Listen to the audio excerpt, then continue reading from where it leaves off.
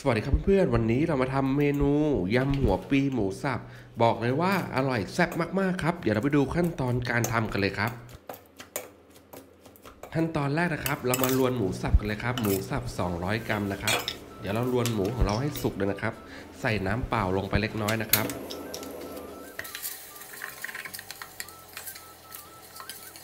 หมูสับของเราก็ลวนสุกเป็นที่ร้อยนะครับ ให้เราปิดแก๊สและพักหมูของเราไว้ก่อนนะครับไปทำขั้นตอนต่อไปกันเลยครับ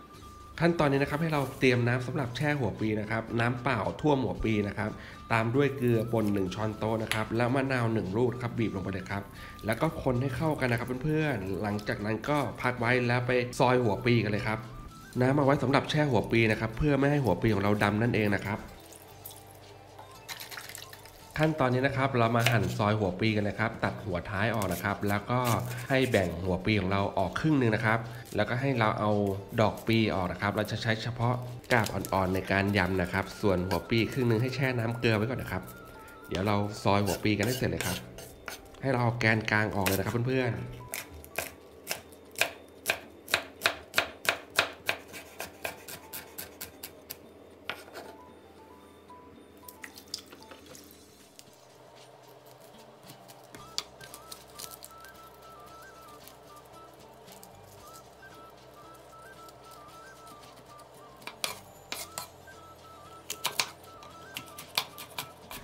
เราก็หั่นซอยหัวปีเสร็จเป็นที่เรียบร้อยนะครับ ขั้นตอนนี้เราแช่หัวปีไว้ในน้ำก่อนนะครับ แล้วไปทำขั้นตอนการทำน้ำยำกันเลยครับ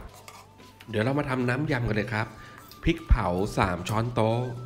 กะทิ 5 ช้อนโต๊ะ น้ำตาลทราย 1 ช้อนโต๊ะ ผงปรุงรส 1 ช้อนชา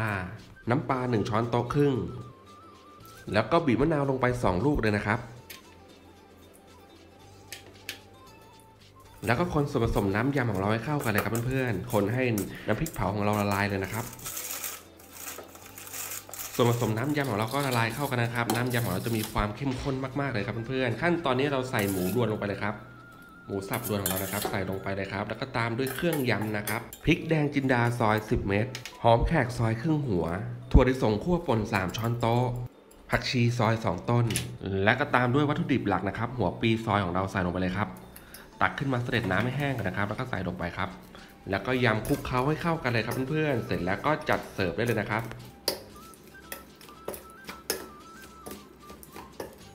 ยำหัวปีหมูสับของเราก็เสร็จแล้วนะครับ เดี๋ยวลงจานจัดเสิร์ฟเลยครับเพื่อนๆ